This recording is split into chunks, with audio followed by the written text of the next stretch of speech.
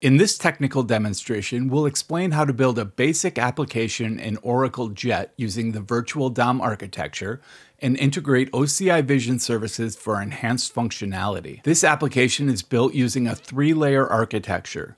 The data source layer manages data storage in an OCI bucket, the middle layer produces business logic, handles requests from the front end, and interacts with the data source, ensuring the application runs smoothly. The front end layer acts as an interface where users interact with the application, displaying data and capturing output.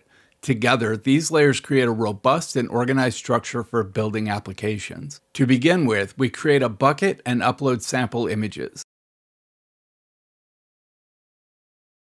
Details of the AI use case are available in the GitHub repository, including sample code for integrating the OCI AI Vision service and processing images through a Spring Boot application. AI Vision Controller contains methods which interact with an OCI bucket.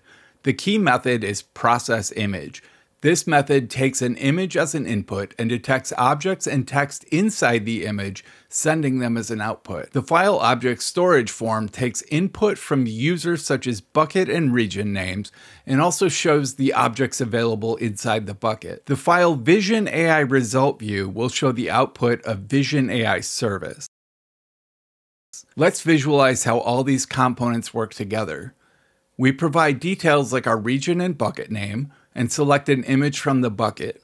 Once submitted, OCI Vision results are generated. For this example, there are four objects detected in the image.